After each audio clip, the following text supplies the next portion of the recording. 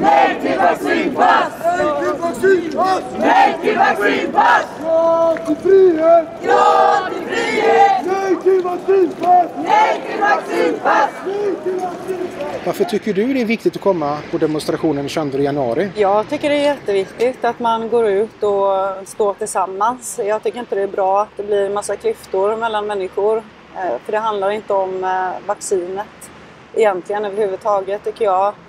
Eh, det med covidpasset är ju eh, det som är det allvarliga för att eh, det förhindrar ju människor från att röra sig fritt och det bryter mot vissa lagar och annat. Och även om vi har en pandemilag och vi har liksom det är jobbigt med virus och annat så tror inte jag på att covidpasset kan göra någonting när det gäller själva smittspridningen. Vi tänker inte lyda under en diktatur med vaccinpass och ja, politikers förtryck. Vi ser Österrike nu får de 37 000 i böter i svenska kronor eh, om man inte vaccinerar sig om man är över 14 år. Och, eh, det kommer ju sluta så här med. Alltså, vi ser ju över hela världen så drar de ju igenom de här eh, fascistiska grejerna nu. Vi måste ta reda på grejer själva. Det, det ser jag som börja tänk själv, använd din egen hjärna för att sitter du framför TVn så blir, blir det en hypnos.